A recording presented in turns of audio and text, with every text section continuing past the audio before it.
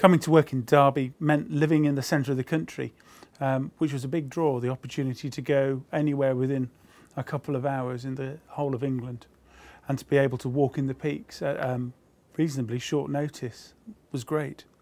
Um, it was also the opportunity to be involved in the shaping of a, a new emergency department, um, the facilities of which now are superb. I wanted to come and work in Derby because I wanted to work with a group of like-minded consultants who wanted to provide excellent clinical care.